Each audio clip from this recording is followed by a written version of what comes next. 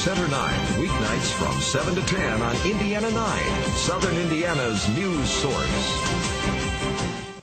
Charlestown native Ray Beaufait will compete in the RE/MAX World Long Drive Championship that's in Mesquite, Nevada next month.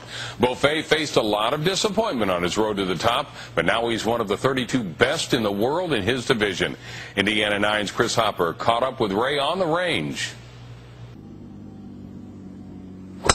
That's the sound of a 64-year-old long drive champion preparing to take home the world title.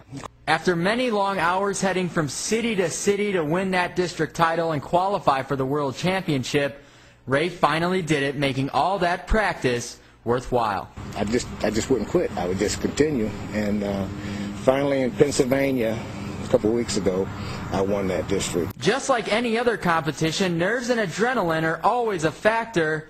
Ray gave us a chance to see what he's thinking and feeling during the big competition.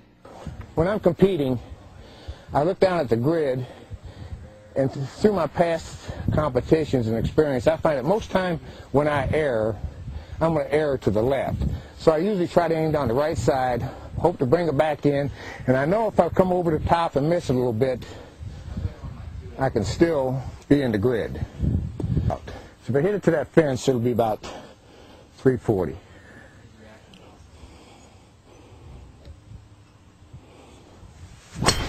There it is. That ball there will carry to the fence.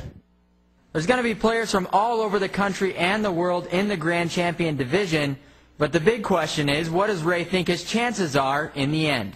I think I can win it all.